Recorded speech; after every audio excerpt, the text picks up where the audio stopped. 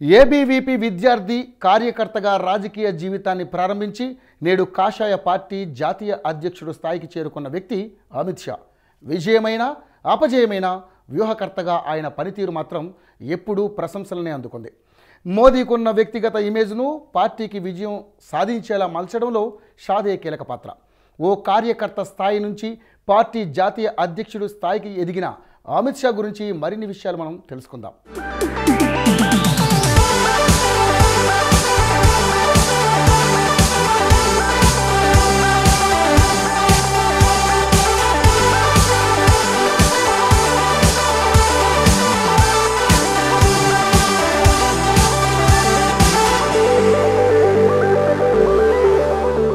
పంతొమ్మిది వందల అరవై నాలుగు అక్టోబర్ ఇరవై రెండున ముంబైలోని బనియా కుటుంబంలో జన్మించాడు. షా తండ్రి అనిల్ చంద్ర షా వ్యాపారవేత్త. పీవీసీ పైపుల వ్యాపారాన్ని నిర్వహించేవాడు. అమిత్ షా ప్రాథమిక విద్యాభ్యాసం మెహసానాలో జరిగింది. ఆ తర్వాత షా సైన్స్ కళాశాలలో బయోకెమిస్ట్రీ విభాగంలో గ్రాడ్యుయేషన్ పూర్తి చేశాడు.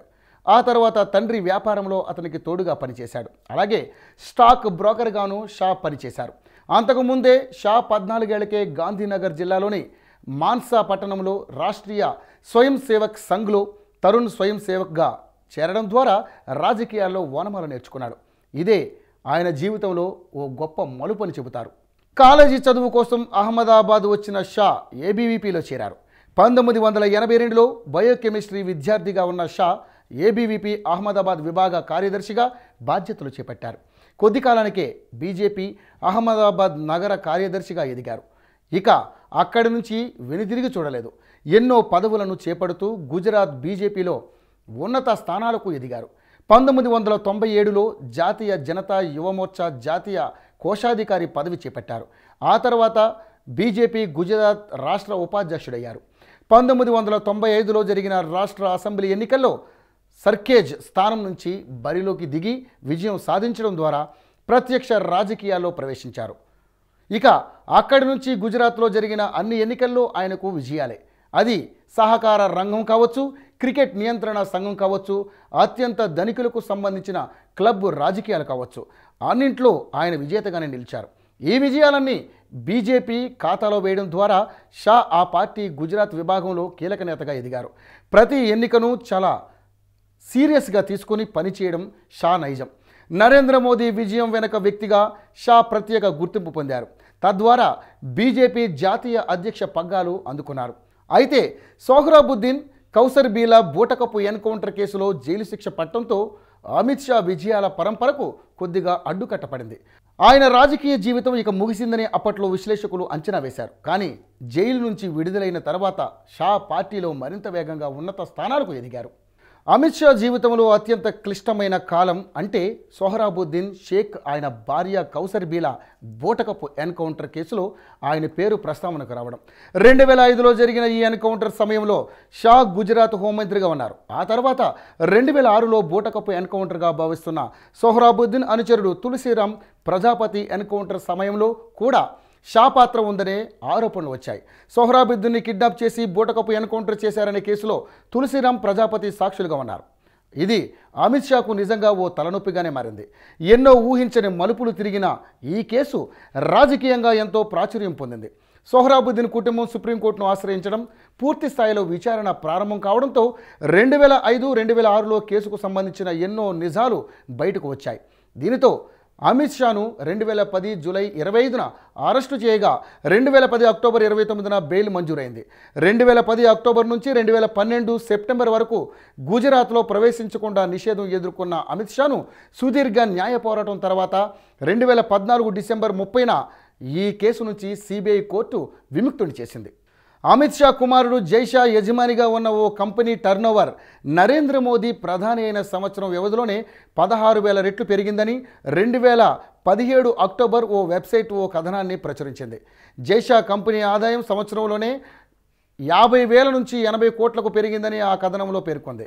రిజిస్టర్ ఆఫ్ కంపెనీస్కు సమర్పించిన ఆ పత్రాల్లోని సమాచారమే దీనికి ఆధారం.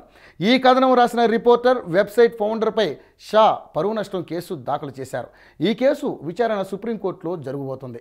గాంధీనగర్ స్థానంలో సీనియర్ నేతలు అటల్ బిహారీ వాజ్పేయి లాల్ కృష్ణ అద్వానీ వంటి వారి గెలుపు కోసం అమిత్ షా తన శక్తి సామర్థ్యాలన్నింటినీ ఉపయోగించి వారికి ఘన విజయాన్ని అందించారు. అలాగే నరేంద్ర మోదీని జాతీయ స్థాయి రాజకీయాల్లో బలమైన నేతగా మలచడంలో కూడా షా పాత్ర చాలా కీలకంగా వ్యవహరించారు.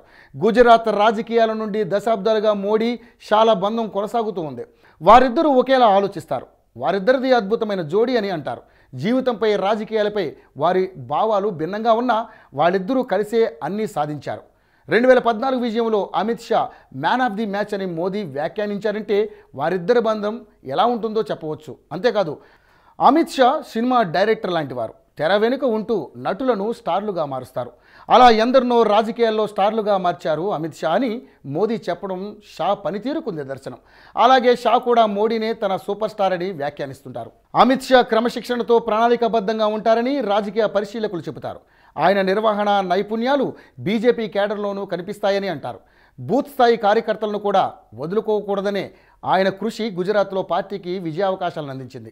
ఆ తర్వాత రెండు వేల పద్నాలుగు సాధారణ ఎన్నికల్లో కేంద్రంలో బీజేపీని అధికారంలోకి తీసుకొచ్చింది. రాజకీయ వ్యూహాలను రచించడంలో వాటిని అమలు చేయడంలో ఉన్న నిబద్ధతే షాను రెండు వేల పదిలో పార్టీ ప్రధాన కార్యదర్శి రాజకీయంగా ఎంతో ప్రాముఖ్యత ఉన్న ఉత్తరప్రదేశ్ రాష్ట్ర ఇన్ఛార్జిగా చేసింది. దీంతో అమిత్ షా ఉత్తరప్రదేశ్లో బీజేపీ దశనే మార్చేశారు. మొత్తం ఎనభై లోక్సభ స్థానాల్లో డెబ్బై మూడు సీట్లను గెలుచుకోవడం ద్వారా పార్టీకి అద్భుతమైన విజయాన్ని అందించారు. ఇన్ఛార్జి బాధ్యతలు చేపట్టిన రెండేళ్ళలోనే రాష్ట్రంలో బీజేపీ ఓట్ల శాతం రెండున్నర రెట్లు పెరిగింది. రెండు వేల పద్నాలుగు బీజేపీ ఎన్నికల కమిటీలో సభ్యుడిగా ఉన్న షాకు ప్రజలతో నేరుగా మమేకం విస్తృత మార్కెటింగ్ కొత్త ఓటర్ల నమోదుకు సంబంధించిన బాధ్యతలను పార్టీ అప్పగించింది. ఫలితాలను సాధనే లక్ష్యంగా వ్యూహాలు రచించే ఆయన నైపుణ్యమే రెండు వేల పద్నాలుగు సాధారణ ఎన్నికల్లో ఆయన పాత్రను కీలకంగా మార్చింది. ఎన్నికలకు ముందు తర్వాత వివిధ పార్టీలను ఎన్డీఏలోకి తీసుకురావడంలో షా ప్రదర్శించిన చతురత ఎంతో మందిని ఆశ్చర్యపరిచింది.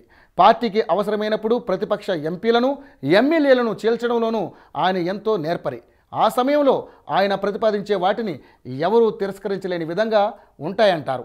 ఉత్తర భారత్ మధ్య భారత్ పశ్చిమ భారత్ ప్రాంతాల్లో బీజేపీ విజయం సాధించింది పట్టు సాధించింది. కానీ దక్షిణాదిలో తూర్పు రాష్ట్రాల్లో మాత్రం బలమైన ముద్ర వేయడంలో కాషాయ పార్టీ ఇప్పటికీ సతమతమవుతుంది. ఇక్కడ బీజేపీ కేడర్ను ఎప్పటికప్పుడు కొత్త లక్ష్యాలను నిర్దేశిస్తూ ఎన్నికలకు సమాయత్తం చేస్తున్నారు షా. సొంత నేతలే కాదు ప్రతిపక్ష పార్టీలోని నాయకులు కూడా అమిత్ షాకున్న లోతైన పరిజ్ఞానం సోషల్ ఇంజనీరింగ్కు అభిమానులుగా మారిన వాళ్ళున్నారు. సామాజిక అంశాలను షా ఉపయోగించుకున్నంతగా ఎవరూ ఉపయోగించుకోలేరు. అని విశ్లేషకులు పేర్కొంటారు.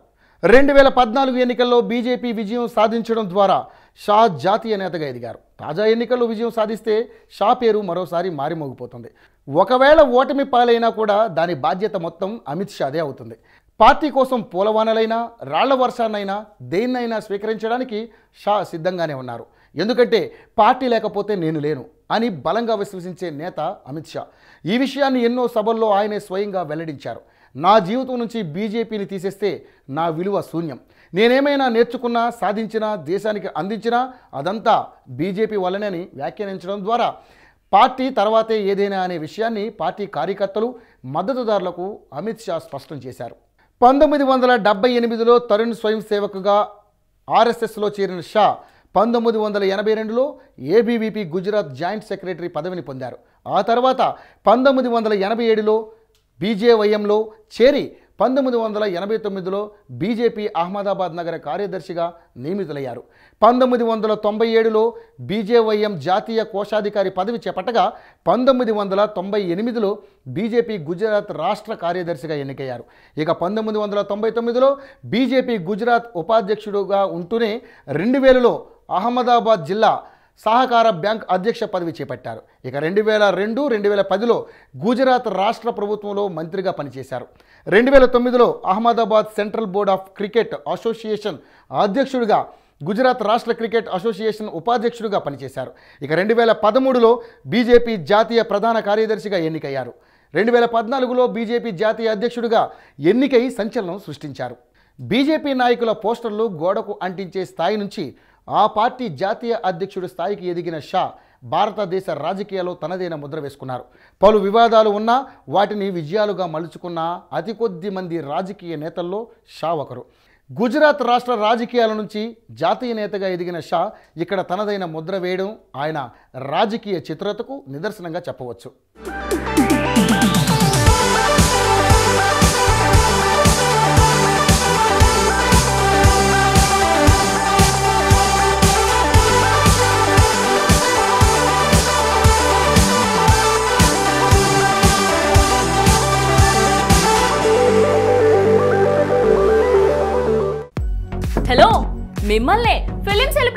రియల్ స్టోరీస్ ఏంటో తెలుసుకోవాలనుందా? లేటెస్ట్గా రిలీజ్ అయ్యే మూవీ రివ్యూస్ నేను చెప్తే వినాలనుందా? ఇంకెందుకు ఆలస్యం? యోయో టీవీని సబ్స్క్రైబ్ చేసుకోండి. అలాగే మర్చిపోకుండా యోయో టీవీ యాప్ని కూడా డౌన్లోడ్ చేసుకోండి.